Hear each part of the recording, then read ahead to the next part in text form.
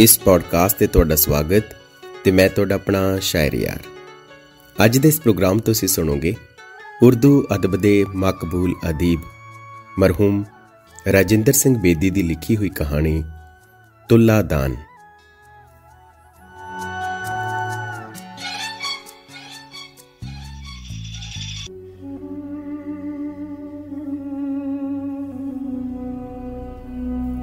ਧੋਬੀਆਂ ਦੇ ਘਰ ਜੇ ਕੋਈ ਗੋਰਾ ਚਿੱਟਾ ਬੱਚਾ ਜੰਮ ਪਵੇ, ਤਾਂ ਉਹਦਾ ਨਾਂ ਬਾਊ ਰੱਖ ਦਿੱਤਾ ਜਾਂਦਾ ਹੈ।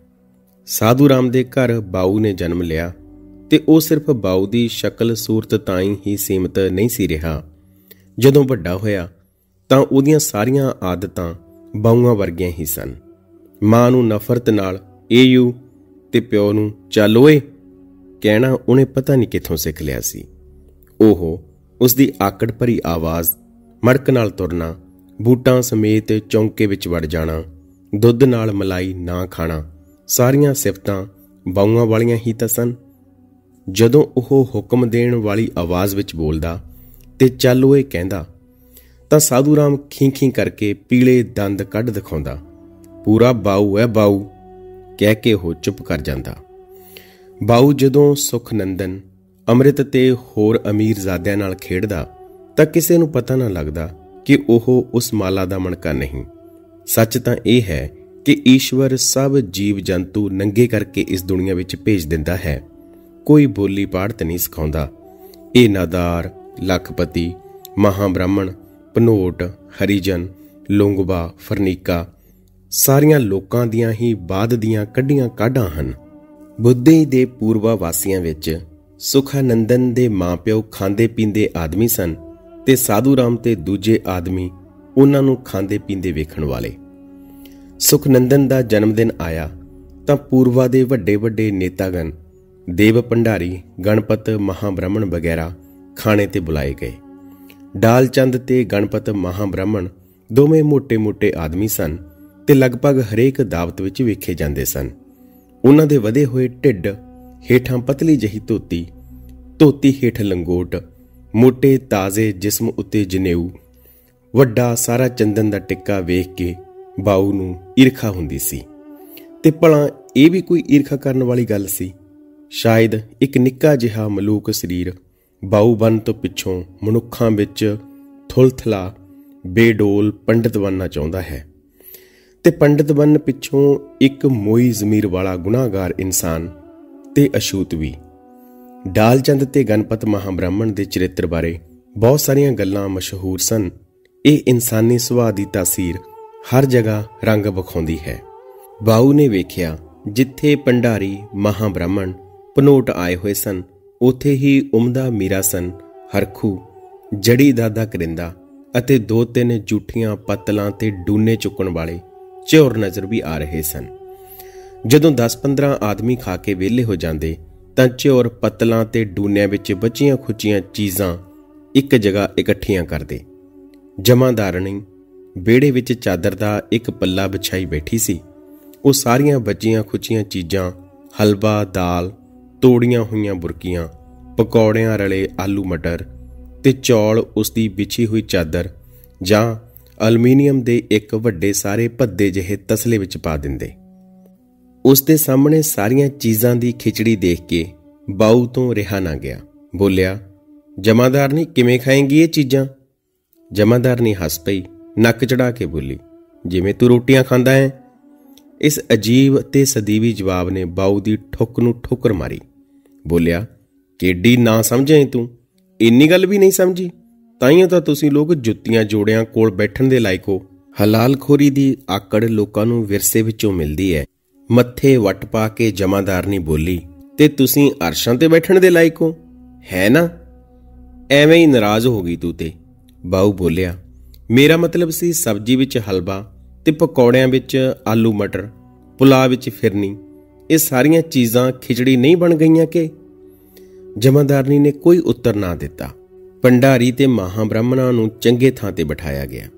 ਉਹ ਸਾਧੂਆਂ ਵਰਗੀ ਰੁਦਰਕਸ਼ਰ ਦੀ ਮਾਲਾ ਗਲੇ ਵਿੱਚ ਪਾਈ ਕੁਣਖਾ ਜਿਹਾ ਵਾਰੀ-ਵਾਰੀ ਉਮਦਾਂ ਤੇ ਜਮਾਦਾਰਨੀ ਵੱਲ ਝਾਕਦੇ ਰਹੇ। ਉਮਦਾਂ ਜਮਾਦਾਰਨੀ ਦੇ ਕੋਲ ਹੀ ਬੈਠੀ ਸੀ। ਹਰਖੂ ਤੇ ਜੜੀ ਦਾਦਾ ਧੁੱਪ ਵਿੱਚ ਬੈਠੇ, ਖਾ ਰਹੇ ਆਦਮੀਆਂ ਦੇ ਮੂੰਹਾਂ ਵੱਲ ਵੇਖ ਰਹੇ ਸਨ ਕਿ ਕਦੋਂ ਉਹ ਸਾਰੇ ਖਾ ਕੇ ਹਟਣ ਤਾਂ ਕਿ ਉਹਨਾਂ ਨੂੰ ਵੀ ਕੁਝ ਨਸੀਬ ਹੋਵੇ। ਬਾਊ ਨੇ ਦੇਖਿਆ, ਉਮਦਾਂ ਦੇ ਨੇੜੇ ਹੀ ਬਾਲਣ ਦੀ ਓਟ ਵਿੱਚ ਉਸ ਦੀ ਆਪਣੀ ਮਾਂ ਬੈਠੀ ਹੋਈ ਸੀ। ਉਸ ਦੇ ਨੇੜੇ ਭਾਂਡੇ ਮਾਂਜਣ ਲਈ ਸਵਾ ਅਤੇ ਅੱਧ ਸੁੱਕੀਆਂ ਪਾਥੀਆਂ ਪਈਆਂ ਸਨ। ਸਵਾਹ ਨਾਲ ਉਸ ਦਾ ਲਹਿੰਗਾ ਖਰਾਬ ਹੋ ਗਿਆ ਸੀ। ਕਮੀਜ਼ ਵੀ ਖਰਾਬ ਹੋ ਰਹੀ ਸੀ। ਖੈਰ, ਕਮੀਜ਼ ਦੀ ਤਾਂ ਕੋਈ ਗੱਲ ਨਹੀਂ ਸੀ। ਉਹ ਤਾਂ ਕਿਸੇ ਦੀ ਸੀ ਤੇ ਧੋਣ ਲਈ ਉਹਨਾਂ ਕੋਲ ਆਈ ਸੀ। ਇੱਕ ਵਾਰੀ ਧੋ ਕੇ ਬਾਉ ਦੀ ਮਾਂ ਨੇ ਜੇ ਉਹ ਪਾ ਵੀ ਲਈ, ਤਾਂ ਕੁਝ ਘਸ ਥੋੜੇ ਹੀ ਗਿਆ। ਪਰਮਾਤਮਾ ਭਲਾ ਕਰੇ ਬੱਦਲਾਂ ਦਾ, ਕਿ ਉਹਨਾਂ ਦੀ ਮਿਹਰਬਾਨੀ ਨਾਲ ਇਹ ਮੌਕਾ ਭਿੜਿਆ ਸੀ। ਜਦੋਂ ਆਪਣੇ ਦੋਸਤ ਸੁਖਨੰਦਨ ਨੂੰ ਮਿਲਣ ਲਈ ਬਾਉ ਨੇ ਅੱਗੇ ਵਧਣਾ ਚਾਹਿਆ, ਤਾਂ ਇੱਕ ਆਦਮੀ ਨੇ ਉਸ ਨੂੰ ਚਪੇੜ ਵਿਖਾ ਕੇ ਥਾਵੇਂ ਹੀ ਰੋਕ ਦਿੱਤਾ ਤੇ ਕਿਹਾ, ਖਬਰਦਾਰ, ਧੋਬੀ ਦੇ ਬੱਚੇ ਦਿਸਦਾ ਨਹੀਂ ਕਿੱਧਰ ਵੜਿਆ ਜਾ ਰਹੇ? ਹਨ ਬਾਉ ਰੁਕ ਗਿਆ। ਸੋਚਣ ਲੱਗਿਆ, ਉਸ ਨਾਲ ਲੜੇ ਜਾਂ ਨਾ ਲੜੇ ਝੌਰ ਦਾ ਕਮਾਇਆ ਹੋਇਆ ਸਰੀਰ ਵੇਖ ਕੇ ਉਹਨੂੰ ਥਾਵੇਂ ਰੁਕਣਾ ਪਿਆ। ਉੰਜ ਵੀ ਉਹ ਅਜੇ ਬੱਚਾ ਹੀ ਸੀ। ਭਲਾ ਏਡੇ ਵੱਡੇ ਆਦਮੀ ਦਾ ਮੁਕਾਬਲਾ ਕਿੰਜ ਕਰ ਸਕਦਾ ਸੀ? ਉਸਨੇ ਇੱਕ ਉਦਾਸ ਟੁੱਟਵੀਂ ਜਹੀ ਨਿਗਾਹ, ਚੰਗੀ ਥਾਵੇਂ ਬੈਠ ਕੇ ਖਾਣਾ ਖਾਣ ਵਾਲਿਆਂ ਤੇ ਪਾਥੀਆਂ ਦੀ ਗਿੱਲੀ ਸੁੱਕੀ ਸਵਾਹ ਤੇ ਜੁੱਤੀਆਂ ਕੋਲ ਬੈਠੇ ਮਾਨਸਾਂ ਵੱਲ ਵੇਖਿਆ ਤੇ ਮਨ ਹੀ ਮਨ ਕਿਹਾ, ਭਾਵੇਂ ਸਾਰੇ ਨੰਗੇ ਪੈਦਾ ਹੋਏ ਨੇ, ਪਰ ਇੱਕ ਕਾਮੇ ਤੇ ਇੱਕ ਬ੍ਰਾਹਮਣ ਵਿੱਚ ਕਿੰਨਾ ਫ਼ਰਕ ਏ? ਫਿਰ ਦਿਲ ਵਿੱਚ ਹੀ ਕਹਿਣ ਲੱਗਾ, ਸੁਖਨੰਦਨ ਤੇ ਬਾਉ ਵਿੱਚ ਵੀ ਕਿੰਨਾ ਫ਼ਰਕ ਏ? ਤੇ ਹਲਕੀ ਜਹੀ ਪੀੜ ਉਹਦੇ ਕਾਲਜੇ ਵਿੱਚ ਉੱਠੀ। ਅਸਲੀਅਤ ਤਾਂ ਬਾਉ ਦੇ ਸਾਹਮਣੇ ਸੀ ਪਰ ਉਸ ਦੇ ਅਸਲੀ ਰੂਪ ਨੂੰ ਦੇਖਣ ਤੋਂ ਉਹ ਖੁਦ ਹੀ ਘਬਰਾਉਂਦਾ ਸੀ। ਬਾਉ ਦਿਲ ਹੀ ਦਿਲ ਵਿੱਚ ਕਹਿਣ ਲੱਗਾ, ਸਾਡੇ ਲੋਕਾਂ ਕਰਕੇ ਹੀ ਤਾਂ ਇਹ ਜਿਉਂਦੇ ਨੇ। ਦਿਨ ਵਰਗੇ ਚਿੱਟੇ ਕੱਪੜੇ ਪਾਉਂਦੇ ਨੇ। ਦਰਅਸਲ ਬਾਉ ਨੂੰ ਭੁੱਖ ਲੱਗੀ ਹੋਈ ਸੀ। ਉਹਨਾਂ ਪਕੌੜਿਆਂ ਤੇ ਹਲਵੇ ਪੂਰੀਆਂ ਦੇ ਖਿਆਲਾਂ ਵਿੱਚ ਸੱਚਾਈ ਦੇ ਇਸ ਮਕਰੂ ਰੂਪ ਨੂੰ ਤਾਂ ਕਿ ਉਹ ਆਪਣੇ ਆਪ ਨੂੰ ਵੀ ਭੁੱਲ ਗਿਆ ਸੀ। ਗਰਮਾ ਗਰਮ ਪੂਰੀਆਂ ਦੀ ਸਬਰ ਹਿਲਾ ਦੇਣ ਵਾਲੀ ਖੁਸ਼ਬੂ ਉਹਦੇ ਦਿਮਾਗ ਵਿੱਚ ਕੁਸੜਦੀ ਜਾ ਰਹੀ ਸੀ। ਅਚਾਨਕ ਉਸ ਦੀ ਨਜ਼ਰ ਉਮਦਾਂ ਉੱਤੇ ਪਈ। ਉਮਦਾਂ ਦੀ ਨਜ਼ਰ ਟੋਕਰੀ ਵਿੱਚ ਕੀ ਨਾਲ, ਗੁੜਚ ਪੂਰੀਆਂ ਦੇ ਨਾਲ ਨਾਲ ਤੁਰੀ ਫਿਰਦੀ ਸੀ। ਜਦੋਂ ਸੁਖਨੰਦਨ ਦੀ ਮਾਂ ਨੇੜਿਓਂ ਲੰਗੀ, ਤਾਂ ਉਸ ਦਾ ਧਿਆਨ ਖਿੱਚਣ ਲਈ ਉਮਦਾਂ ਬੋਲੀ, ਜਜਮਾਨੀ, ਜ਼ਰਾ ਹਲਵਾਈ ਨੂੰ ਤਾੜ ਖਾਂ। ਇਹ ਦੇਖਦਾ ਹੀ ਨਹੀਂ ਕਿ ਕਿੰਨਾ ਘਿਓ ਚੋਂਦਾ ਜਾ ਰਿਹਾ ਏ। ਜਜਮਾਨੀ ਕੜਕ ਕੇ ਬੋਲੀ, ਓਏ ਕਿਸ਼ਨੂ ਹਲਵਾਈ ਨੂੰ ਕਹਿ ਜ਼ਰਾ ਪੂਰੀਆਂ ਕੜਾਹੀ ਵਿੱਚ ਦਵਾ ਕੇ ਕੱਢੇ। ਬਾਊ ਹੱਸ ਪਿਆ। ਉਮਦਾ ਸ਼ਰਮਿੰਦੀ ਜਹੀ ਹੋ ਗਈ। ਬਾਊ ਜਾਣਦਾ ਸੀ ਕਿ ਉਮਦਾ ਇਹ ਸਭ ਸਿਰਫ ਇਸ ਕਰਕੇ ਹੀ ਕਹਿ ਰਹੀ ਹੈ, ਕਿਉਂਕਿ ਉਸ ਦਾ ਆਪਣਾ ਜੀ ਪੂਰੀਆਂ ਖਾਨ ਨੂੰ ਕਰ ਰਿਹਾ ਸੀ। ਭਾਵੇਂ ਜਜਮਾਨੀ ਦਾ ਧਿਆਨ ਖਿੱਚਣ ਵਾਲੇ ਇਸ ਵਾਕ ਤੋਂ ਉਸ ਦੀ ਇੱਛਾ ਦਾ ਪਤਾ ਨਹੀਂ ਸੀ ਲੱਗ ਰਿਹਾ। ਉਹ ਹੈਰਾਨ ਤੇ ਸੋਚ ਰਿਹਾ ਸੀ ਕਿ ਜਿਸ ਤਰ੍ਹਾਂ ਉਸਨੇ ਉਮਦਾਂ ਦੇ ਉਹਨਾਂ ਅਰਥਹੀਣ ਸ਼ਬਦਾਂ ਵਿੱਚ ਲੁਕੇ ਹੋਏ ਅਸਲੀ ਅਰਥਾਂ ਨੂੰ ਸਮਝ ਲਿਆ ਸੀ ਕੀ ਇਹ ਸੰਭਵ ਹੈ ਕਿ ਉਸ ਦੀ ਚੁੱਪ ਤੋਂ ਕੋਈ ਉਸ ਦੇ ਅੰਦਰ ਦੀ ਗੱਲ ਵੀ ਸਮਝ ਲਵੇ? ਆਖਰ, ਚੁੱਪ ਬੋਲਾਂ ਨਾਲੋਂ ਵੱਧ ਅਰਥ ਭਰਪੂਰ ਹੁੰਦੀ ਹੈ। ਉਸ ਵੇਲੇ ਸੁਖਨੰਦਨ ਤੁਲ ਰਿਹਾ ਸੀ। ਸਜਾਈ ਹੋਈ ਇੱਕ ਵੱਡੀ ਤੱਕੜੀ ਜਾਂ ਕੰਡੇ ਦੇ ਇੱਕ ਪਾਲੜੇ ਵਿੱਚ ਬੈਠਾ ਚਾਰੇ ਪਾਸੇ ਦੇਖ ਕੇ ਉਹ ਮੁਸਕਰਾ ਰਿਹਾ ਸੀ। ਦੂਜੇ ਪਾਸੇ ਕਣਕ ਦਾ ਢੇਰ ਲੱਗਿਆ ਸੀ। ਕਣਕ ਦੇ ਇਲਾਵਾ ਚੌਲ, ਬਾਸਮਤੀ, ਛੋਲੇ, ਮਾਂ, ਰਾਜਮਾ ਤੇ ਹੋਰ ਕਈ ਭਾਂਤ ਦੇ ਅਨਾਜ ਸਨ। ਸੁਖਨੰਦਨ ਨੂੰ ਤੋਲ-ਤੋਲ ਕੇ ਲੋਕਾਂ ਨੂੰ ਅਨਾਜ ਵੰਡਿਆ ਜਾ ਰਿਹਾ ਸੀ। ਬਾਉ ਦੀ ਮਾਂ ਨੇ ਵੀ ਪੱਲਾ ਵਿਛਾ ਦਿੱਤਾ। ਉਸ ਨੂੰ ਕਣਕ ਦੀ ਧੜੀ ਮਿਲ ਗਈ। ਉਹ ਸੁਖਨੰਦਨ ਦੀ ਲੰਮੀ ਉਮਰ ਦੀਆਂ ਦੁਆਵਾਂ ਮੰਗਦੀ ਹੋਈ ਉੱਠ ਖੜੀ ਹੋਈ। ਬਾਉ ਨੇ ਨਫ਼ਰਤ ਨਾਲ ਆਪਣੀ ਮਾਂ ਵੱਲ ਵੇਖਿਆ। ਜਿਵੇਂ ਕਹਿ ਰਿਹਾ ਹੋਵੇ, ਤੈਨੂੰ ਕੱਪੜਿਆਂ ਦੀ ਧੁਆਈ ਨਾਲ ਸਬਰ ਨਹੀਂ ਆਉਂਦਾ? ਤਾਈਓ ਤਾਂ ਰੱਬ ਨੇ ਲੋਕਾਂ ਦੀ ਮੈਲ ਧੋਣ ਦਾ ਕੰਮ ਦਿੱਤਾ ਤੈਨੂੰ। ਤੇ ਤੂੰ ਵੀ ਜਮਾਦਾਰ ਨਹੀਂ ਵਾਂਗ ਜੁੱਤੀਆਂ ਵਿੱਚ ਬੈਠਣ ਦੇ ਲਾਇਕ ਐ ਤੇਰੀ ਕੁੱਖ ਵਿੱਚੋਂ ਪੈਦਾ ਹੋਣ ਵਾਲੇ ਬਾਉ ਨੂੰ ਕੜਕਦੀ ਧੁੱਪ ਵਿੱਚ ਖੜਾ ਰਹਿਣਾ ਪੈਂਦਾ ਅੱਗੇ ਵਧਣ ਤੇ ਲੋਕ ਉਹਨੂੰ ਚਪੇੜਾਂ ਵਿਖਾਉਂਦੇ ਨੇ। ਹਾਏ ਓਏ, ਤੇਰੀਆਂ ਇਹ ਪਾਟੀਆਂ, ਬਸ਼ਰਮ ਅੱਖਾਂ, ਕਣਕ ਨਾਲ ਨਹੀਂ, ਕਬਰ ਦੀ ਮਿੱਟੀ ਨਾਲ ਭਰਨਗੀਆਂ ਮਾਂ ਜਦੋਂ ਕੋਲ ਦੀ ਲੰਗੀ ਤਾਂ ਬਾਉ ਬੋਲਿਆ, ਏ ਯੂ।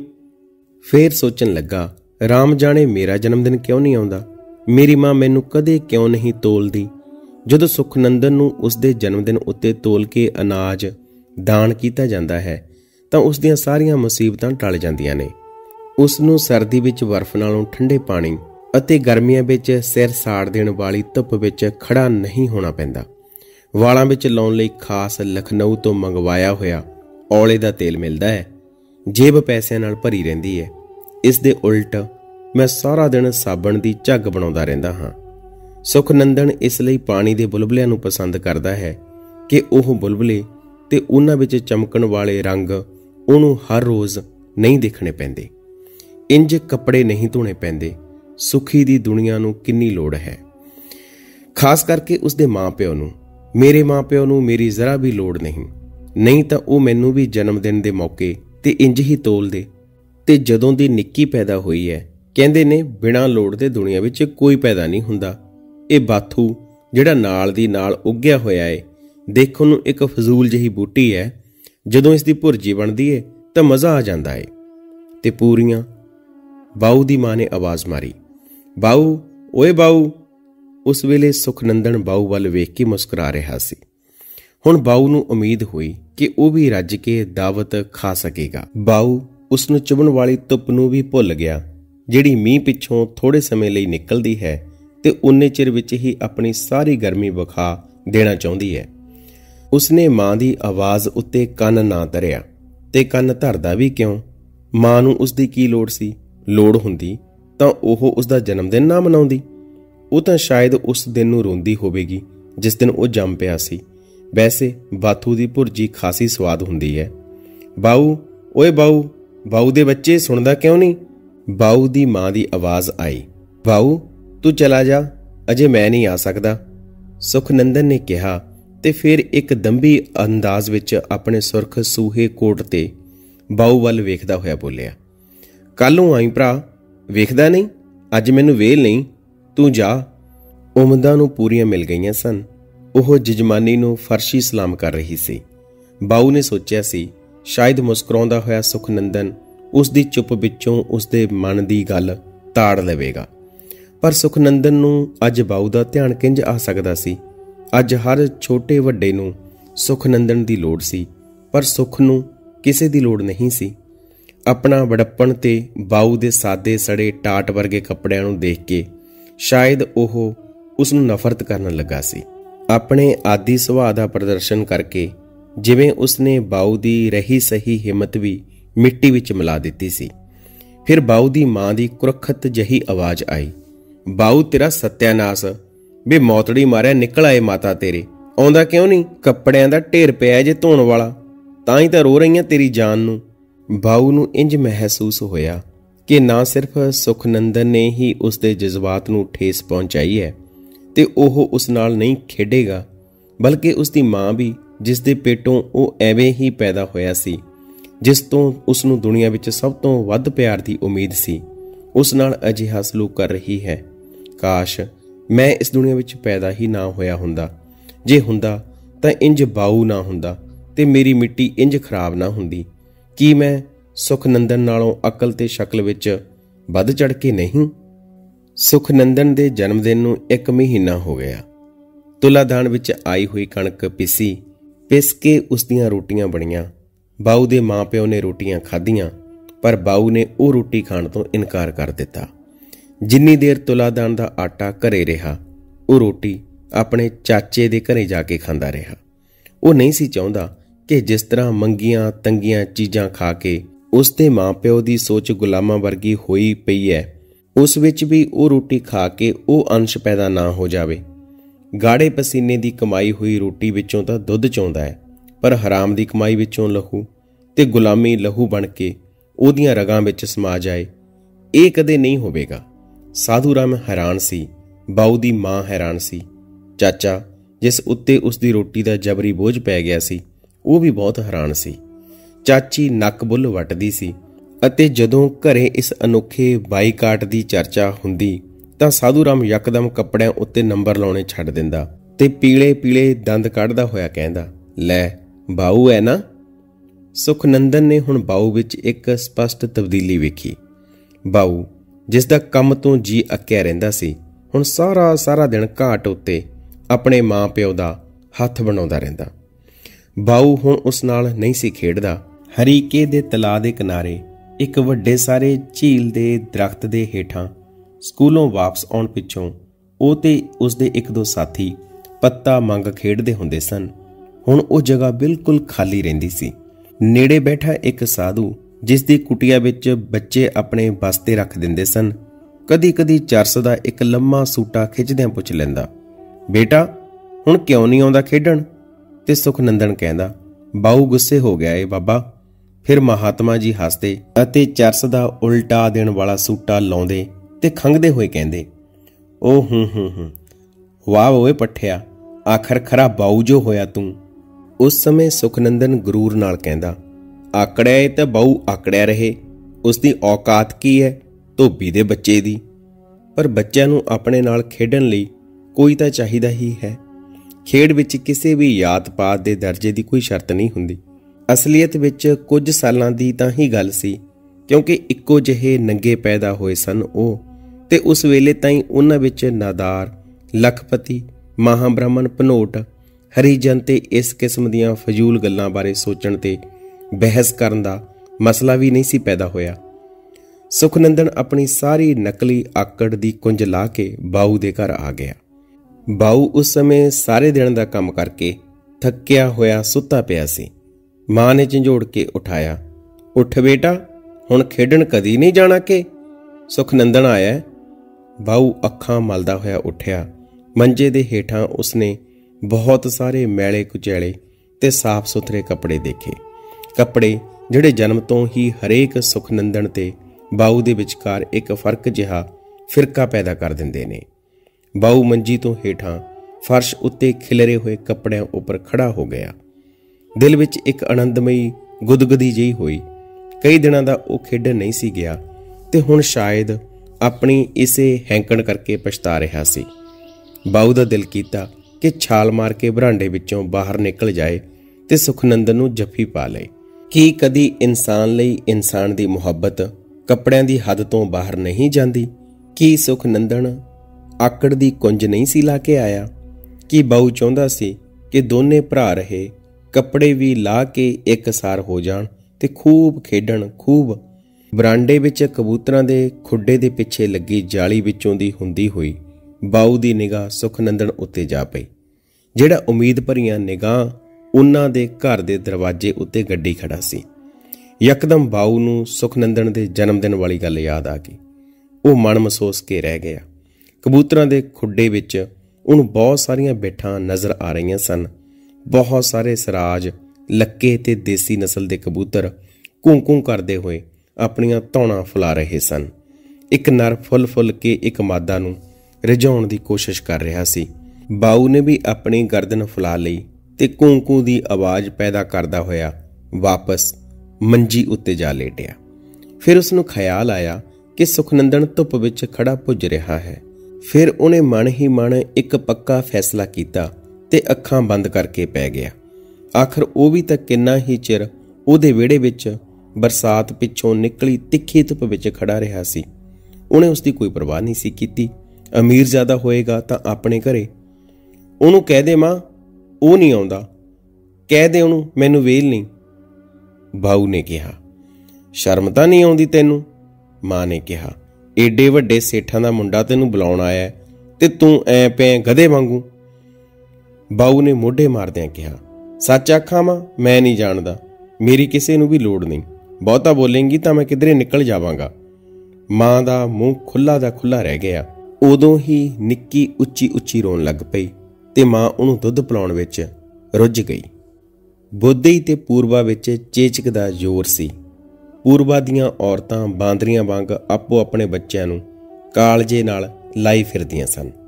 ਕਿਤੇ ਪਰਛਾਵਾ ਨਾ ਪੈ ਜਾਏ ਤੇ ਸੀਤਲਾ ਮਾਤਾ ਤਾਂ ਉਂਝ ਵੀ ਬੜੀ ਗੁਸੈਲ ਹੈ। ਡਾਲ ਚੰਦ ਦੀ ਕੁੜੀ, ਮਹਾਬ੍ਰਾਹਮਣ ਦੇ ਦੋ ਭਤੀਜੇ, ਸਾਰਿਆਂ ਨੂੰ ਸੀਤਲਾ ਮਾਤਾ ਨੇ ਦਰਸ਼ਨ ਦਿੱਤੇ। ਇਹਨਾਂ ਦੀਆਂ ਮਾਵਾਂ ਘੰਟਿਆਂ ਬੱਧੀ ਉਹਨਾਂ ਦੇ ਸਰਹਾਣੇ ਸੁੱਚੇ ਮੋਤੀਏ ਦੇ ਹਾਰ ਰੱਖ ਕੇ ਬੈਠੀਆਂ ਗੋਰੀ ਮਈਆ ਗਾਉਂਦੀਆਂ ਰਹੀਆਂ ਸੀ ਤੇ ਦੇਵੀ ਮਾਤਾ ਨੂੰ ਪ੍ਰਾਰਥਨਾ ਕਰਦੀਆਂ ਰਹੀਆਂ ਸਨ ਕਿ ਉਹਨਾਂ ਉੱਤੇ ਆਪਣਾ ਗੁੱਸਾ ਨਾ ਕੱਢੇ। ਜਦੋਂ ਬੱਚੇ ਰਾਜੀ ਹੋ ਗਏ ਤਾਂ ਮੰਦਰ ਵਿੱਚ ਮੱਥਾ ਟਿਕਾਉਣ ਲਈ ਲੈ ਗਈਆਂ ਉਹ। ਮਾਤਾ ਤਾਂ ਹਰੇਕ ਇੱਛਾ ਪੂਰੀ ਕਰਦੀ ਸੀ। ਜਦੋਂ ਸੀਤਲਾ ਦਾ ਗੁੱਸਾ ਟਲਿਆ ਤੇ ਹਵਾ ਕੁਝ ਘਟ ਹੋਈ ਤਾਂ ਪੂਰਬਾ ਵਾਲਿਆਂ ਨੇ ਸੀਤਲਾ ਦੀ ਮੂਰਤੀ ਬਣਵਾਈ। ਉਸ ਨੂੰ ਖੂਬ ਸਜਾਇਆ। ਸੁਖਨੰਦਨ ਦੇ ਪਿਓ ਨੇ ਮੂੰਗੇ ਦੀ ਮਾਲਾ ਸੀਤਲਾ ਮਾਤਾ ਦੇ ਗਲੇ ਵਿੱਚ ਪਾਈ। ਸਭਨਾ ਨੇ ਮਿਲ ਕੇ ਇੱਜ਼ਤ ਮਾਣ ਨਾਲ ਮਾਤਾ ਨੂੰ ਮੰਦਰ ਵਿੱਚੋਂ ਕੱਢਿਆ ਅਤੇ ਇੱਕ ਸੱਜੀ ਹੋਈ ਵੈਲੀ ਵਿੱਚ ਵਿਰਾਜਮਾਨ ਕੀਤਾ ਤੇ ਵੈਲੀ ਨੂੰ ਤਰੀਕ ਦੇ ਘਸੀਟਦੇ ਹੋਏ ਪਿੰਡੋਂ ਬਾਹਰ ਛੱਡਣ ਲਈ ਲੈ ਗਏ। ਪੂਰਬਾ ਦੇ ਸਾਰੇ ਬੱਚੇ, ਬੁੱਢੇ ਜਲੂਸ ਵਿੱਚ ਸ਼ਾਮਲ ਹੋਏ ਸਨ। ਪਿੱਤਲ ਦੀਆਂ ਖੜਤਾਲਾਂ ਢੋਲ ਟਮਕਾ ਵੱਜਦੇ ਰਹੇ ਸਨ। ਲੋਕ ਚਾਹੁੰਦੇ ਸਨ ਕ੍ਰੋਧੀ ਮਾਤਾ ਨੂੰ ਹਰੀਕੇ ਤਲਾਕ ਕੋਲ ਮਹਾਤਮਾ ਜੀ ਦੀ ਕੁਟਿਆ ਦੇ ਨੇੜੇ ਉਹਨਾਂ ਦੀ ਨਿਗਰਾਨੀ ਵਿੱਚ ਛੱਡ ਦਿੱਤਾ ਜਾਏ ਤਾਂ ਕਿ ਮਾਤਾ ਇਸ ਪਿੰਡ ਚੋਂ ਕਿਸੇ ਹੋਰ ਪਿੰਡ ਵੱਲ ਨੂੰ ਮੂੰਹ ਨਾ ਕਰੇ। ਉਹ ਮਾਤਾ ਨੂੰ ਖੁਸ਼ੀ-ਖੁਸ਼ੀ ਰਵਾਨਾ ਕਰਨਾ ਚਾਹੁੰਦੇ ਸਨ ਤਾਂ ਕਿ ਉਹਨਾਂ ਉੱਤੇ ਉਲਟੀ ਨਾ ਆਣ ਪਵੇ। ਸੁਖਨੰਦਨ ਵੀ ਜਲੂਸ ਦੇ ਨਾਲ ਗਿਆ ਸੀ ਬਾਉ ਵੀ ਸ਼ਾਮਲ ਹੋਇਆ ਸੀ। ਨਾ ਬਾਉ ਦੀ ਸੁਖ ਨੂੰ ਬੁਲਾਉਣ ਦੀ ਹਿੰਮਤ ਹੋਈ, ਨਾ ਸੁਖ ਦੀ ਬਾਉ ਨੂੰ। ਹਾਂ ਕਦੀ-ਕਦੀ ਉਹ ਇੱਕ ਦੂਜੇ ਵੱਲ ਚੋਰ ਅੱਖ ਨਾਲ ਜ਼ਰੂਰ ਦੇਖ ਲੈਂਦੇ ਸਨ। ਹਰੀਕੇ ਦੇ ਤਲਾਅ ਦੇ ਨੇੜੇ ਹੀ ਧੋਬੀ ਘਾਟ ਸੀ। ਇੱਕ ਛੋਟੀ ਜਹੀ ਨਹਿਰ ਰਾਹੀਂ ਤਲਾਅ ਦਾ ਪਾਣੀ ਘਾਟ ਵੱਲ ਖਿੱਚ ਲਿਆ ਜਾਂਦਾ ਸੀ। ਘਾਟ ਸੀ ਬੜਾ ਲੰਮਾ ਚੌੜਾ। ਨੇੜੇ ਤੇੜੇ ਦੇ ਕਈ ਪਿੰਡਾਂ ਦੇ ਧੋਬੀ ਉੱਥੇ ਕੱਪੜੇ ਧੋਣ ਆਉਂਦੇ ਸਨ। ਉਸੇ ਘਾਟ ਉੱਤੇ ਬਾਉ ਤੇ ਉਹਨਾਂ ਦਾ ਓੜਮਾ ਕੋੜਮਾ ਆਉਂਦਾ ਸੀ। ਉੱਥੇ ਹੀ ਉਹ ਸਾਰੇ ਇੱਕ ਗਾਣਾ ਉਸੇ ਪੁਰਾਣੀ ਸੁਰ ਤਾਲ ਵਿੱਚ ਗਾਉਂਦੇ ਹੋਏ ਕੱਪੜੇ ਧੋਈ ਜਾਂਦੇ। ਇੱਕ ਦਿਨ ਘਾਟ ਉੱਤੇ ਸਾਰਾ ਦਿਨ ਬਾਉ ਸੁਖਨੰਦਨ ਦੇ ਬਗੈਰ ਬੜਾ ਸੁੰਨਾ ਸੁੰਨਾ ਜਿਹਾ ਮਹਿਸੂਸ ਕਰਦਾ ਰਿਹਾ। ਕਦੀ-ਕਦੀ ਉਹ ਇਕੱਲਾ ਹੀ ਚੀਲ ਦੇ ਵੱਡੇ ਦਰਖਤ ਦੇ ਟਾਣਿਆਂ ਉੱਤੇ ਚੜ ਜਾਂਦਾ। ਜਿਵੇਂ ਸੁਖਨੰਦਨ ਨਾਲ ਫੜਨ ਫੜਾਈ ਖੇਡ ਰਿਹਾ ਹੋਵੇ। ਖੇਡ ਵਿੱਚ ਮਜ਼ਾ ਨਾ ਆਇਆ ਤਾਂ ਉਹ ਇੱਟਾਂ ਦੇ ਢੇਰ ਵਿੱਚ ਰੱਖੀ ਸੀਤਲਾ ਮਾਤਾ ਦੀ ਮੂਰਤੀ ਨੂੰ ਦੇਖਣ ਲੱਗਾ ਤੇ ਪੁੱਛਣ ਲੱਗਾ ਕਿ ਉਹ ਇਸ ਪਿੰਡ ਵਿੱਚੋਂ ਚਲੀ ਗਈ ਹੈ ਜਾਂ ਨਹੀਂ? ਮਾਤਾ ਕੁਝ ਗੁੱਸੇ ਵਿੱਚ ਦਿਖਾਈ ਦਿੱਤੀ। ਸ਼ਾਮ ਨੂੰ ਬਾਉ ਘਰ ਆਇਆ ਤਾਂ ਉਸ ਨੂੰ ਹਲਕਾ ਹਲਕਾ ਬੁਖਾਰ ਸੀ, ਜਿਹੜਾ ਵੱਧ ਗਿਆ। ਬਾਉ ਨੂੰ ਆਪਣੀ ਸੁੱਧ ਨਾ ਰਹੀ। ਇੱਕ ਵਾਰੀ ਬਾਉ ਨੂੰ ਹੋਸ਼ ਆਇਆ ਤਾਂ ਦੇਖਿਆ, ਮਾਂ ਨੇ ਮੋਤੀਏ ਦਾ ਇੱਕ ਹਾਰ ਉਸ ਦੇ ਮੰਜੇ ਦੇ ਕੋਲ ਰੱਖ ਦਿੱਤਾ ਸੀ। ਨੇੜੇ ਹੀ ਠੰਡੇ ਪਾਣੀ ਦਾ ਭਰਿਆ ਹੋਇਆ ਇੱਕ ਕੋਰਾ ਘੜਾ ਪਿਆ ਸੀ। ਘੜੇ ਉੱਤੇ ਵੀ ਮੋਤੀਏ ਦੇ ਹਾਰ ਰੱਖੇ ਹੋਏ ਸਨ।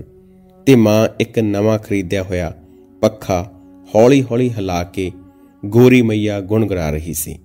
ਪੱਖਾ ਮਾਰਦਾ ਹੋਇਆ ਆਦਮੀ ਨਵਜ਼ ਵਾਂਗ ਹੌਲੀ-ਹੌਲੀ ਹਿੱਲ ਰਿਹਾ ਸੀ ਤੇ ਟੰਗਣੀ ਤੇ ਸੂਈਆਂ ਫੁਲਕਾਰੀਆਂ ਦੇ ਪਰਦੇ ਬਾਉ ਦੀ ਬੁੱਢੀ ਦਾਦੀ ਦੀਆਂ ਝੁਰੜੀਆਂ ਵਾਂਗ ਲਟਕ ਰਹੇ ਸਨ।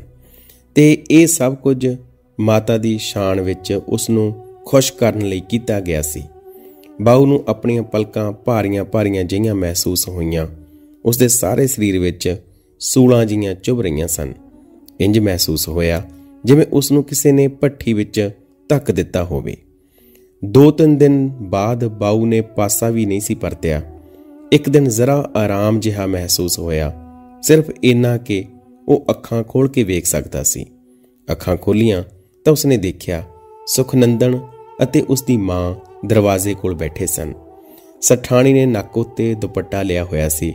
ਦਰਅਸਲ, ਉਹ ਦਰਵਾਜ਼ੇ ਕੋਲ ਇਸ ਲਈ ਬੈਠੇ ਸਨ ਕਿ ਕਿਤੇ ਹਵਾ ਨਾ ਫੜ ਲਵੇ। ਪਰ ਬਾਊ ਨੇ ਸਮਝਿਆ, ਅੱਜ ਉਹਨਾਂ ਲੋਕਾਂ ਦਾ ਗਰੂਰ ਟੁੱਟ ਗਿਆ ਹੈ। ਉਸਨੇ ਦਿਲ ਵਿੱਚ ਇੱਕ ਖੁਸ਼ੀ ਦੀ ਲਹਿਰ ਮਹਿਸੂਸ ਕੀਤੀ। ਇੱਕ ਜੋਤਸ਼ੀ ਸਾਧੂ ਰਾਮ ਨੂੰ ਬਹੁਤ ਸਾਰੀਆਂ ਗੱਲਾਂ ਦੱਸ ਕੇ ਗਿਆ ਸੀ। ਉਸਨੇ ਨਾਰੀਅਲ, ਪਤਾਸੇ, ਮੱਖਣੀ ਮੰਗਵਾਈ। ਸਾਧੂ ਰਾਮ ਕਦੀ-ਕਦੀ ਆਪਣਾ ਹੱਥ ਬਾਉ ਦੇ ਤਪਦੇ ਹੋਏ ਮੱਥੇ ਉੱਤੇ ਰੱਖ ਦਿੰਦਾ ਤੇ ਕਹਿੰਦਾ ਬਾਊ ਬਾਊ, ਉਹ ਬਾਊ ਬੇਟਾ, ਜਵਾਬ ਨਾ ਮਿਲਦਾ ਤਾਂ ਉਸਦੇ ਕਾਲਜੇ ਵਿੱਚੋਂ ਰੁੱਗ ਭਰਿਆ ਜਾਂਦਾ ਤੇ ਉਹ ਚੁੱਪ ਕਰ ਜਾਂਦਾ। ਬਾਊ ਨੇ ਬੜੀ ਮੁਸ਼ਕਲ ਨਾਲ ਕੰਡਿਆਂ ਦੇ ਬਿਸਤਰੇ ਉੱਤੇ ਪਾਸਾ ਪਰਤਿਆ। ਫੁੱਲ ਹੱਥ ਨਾਲ ਸਰਕਾ ਕੇ ਸਰਾਣੇ ਵੱਲ ਕਰ ਦਿੱਤਾ।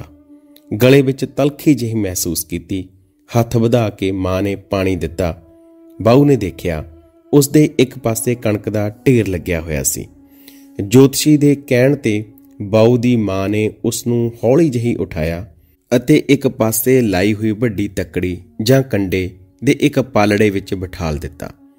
ਕੰਡੇ ਦੇ ਦੂਜੇ ਪਾਲੜੇ ਵਿੱਚ ਕਣਕ ਅਤੇ ਹੋਰ ਅਨਾਜ ਪਾਉਣੇ ਸ਼ੁਰੂ ਕੀਤੇ। ਬਾਉ ਨੇ ਆਪਣੇ ਆਪ ਨੂੰ ਤੁਲਦਾ ਹੋਇਆ ਦੇਖਿਆ ਤਾਂ ਮਨ ਹੀ ਮਨ ਵਿੱਚ ਇੱਕ ਖਾਸ ਕਿਸਮ ਦੀ ਆਤਮਿਕ ਸ਼ਾਂਤੀ ਮਹਿਸੂਸ ਕੀਤੀ। ਚਾਰ ਦਿਨਾਂ ਬਾਅਦ ਅੱਜ ਉਸਨੇ ਪਹਿਲੀ ਵਾਰ ਕੁਝ ਕਹਿਣ ਲਈ ਜ਼ੁਬਾਨ ਖੋਲੀ ਸੀ ਤੇ ਇਨਾ ਕਿਹਾ ਸੀ ਅੰਮਾ, ਕੁਛ ਕਣਕ ਤੇ ਮਾਹਾਂ ਦੀ ਦਾਲ ਦੇ ਦੇ ਸੁਖਨੰਦਨ ਦੀ ਮਾਂ ਨੂੰ। ਕਦੋਂ ਦੀ ਬੈਠੀ ਹੈ ਵਿਚਾਰੀ? ਸਾਧੂ ਰਾਮ ਨੇ ਫੇਰ ਆਪਣਾ ਹੱਥ ਬਾਉ ਦੇ ਤਪਦੇ ਹੋਏ ਮੱਥੇ ਉੱਤੇ ਰੱਖ ਦਿੱਤਾ। ਉਸ ਦੀਆਂ ਅੱਖਾਂ ਵਿੱਚੋਂ ਅਥਰੂਆਂ ਦੀਆਂ ਕੁਝ ਬੂੰਦਾਂ ਝਿਰਕੇ ਫਰਸ਼ ਉੱਤੇ ਖਿਲਰੇ ਕੱਪੜਿਆਂ ਵਿੱਚ ਅਲੋਪ ਹੋ ਗਈਆਂ। ਸਾਧੂ ਰਾਮ ਨੇ ਕੱਪੜਿਆਂ ਨੂੰ ਇੱਕ ਪਾਸੇ ਸਰਕਾਇਆ ਤੇ ਬੋਲਿਆ, ਪੰਡਿਤ ਜੀ, ਦਾਨ ਨਾਲ ਭਾਰ ਲੱਥ ਜੂਗਾ ਨਾ? ਇਸ ਲਈ ਮੈਂ ਤਾਂ ਆਪਣਾ ਘਰ-ਬਾਰ ਵੀ ਵੇਚ ਦਿਆਂ ਪੰਡਿਤ ਜੀ। ਬਾਊ ਦੀ ਮਾਂ ਹੁਬਕੀ ਰੋਂਦੀ ਹੋਈ ਸਠਾਣੀ ਨੂੰ ਕਹਿਣ ਲੱਗੀ, ਮਾਲਕਿਨ ਕੱਲ ਨੈਣੀਤਾਲ ਜਾਓਗੇ? ਕੱਲ ਨਹੀਂ ਪਰਸੋਂ ਮਿਲਣਗੇ ਕੱਪੜੇ। ਹਾਏ ਮਾਲਕਨ, ਤੁਹਾਨੂੰ ਕੱਪੜਿਆਂ ਦੀ ਪਈ ਹੈ ਬਾਊ ਨੂੰ ਕੁਝ ਸ਼ੱਕ ਜਿਹਾ ਹੋਇਆ। ਉਸਨੇ ਫੇਰ ਤਕਲੀਫ ਸਹਿੰਦਿਆਂ ਪਾਸਾ ਪਰਤਿਆ ਤੇ ਬੋਲਿਆ, ਅੰਮਾ ਅੰਮਾ, ਅੱਜ ਮੇਰਾ ਜਨਮ ਦਿਨ ਹੈ ਨਾ? ਹੁਣ ਸਾਧੂ ਰਾਮ ਦੇ ਸੋਤੇ ਫੁੱਟ ਪਏ। ਉਹ ਹੱਥ ਨਾਲ ਗਲੇ ਨੂੰ ਦਬਦਾ ਹੋਇਆ ਪਰ ਅੜਾਈ ਆਵਾਜ਼ ਵਿੱਚ ਬੋਲਿਆ, ਹਾਂ ਹਾਂ ਪੁੱਤ, ਅੱਜ ਤੇਰਾ ਜਨਮ ਦਿਨ ਹੈ, ਬਾਊ ਬਚੜਾ।